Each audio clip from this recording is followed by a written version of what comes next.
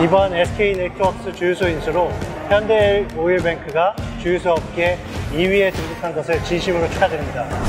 주유소는 현대 오일뱅크죠.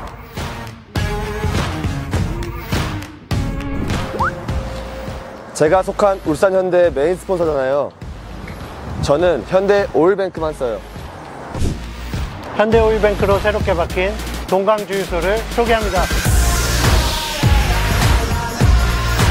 하나, 동강 주유소는 대로변과 가까이 있어 고객 접근성이 뛰어납니다.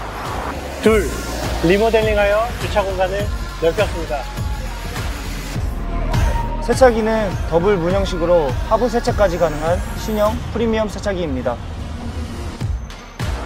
주유소 바로 옆에 버거킹 있습니다. 주유 외 다양한 서비스를 제공합니다.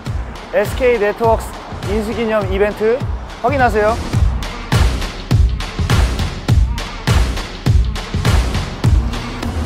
주유는 현대 오일뱅크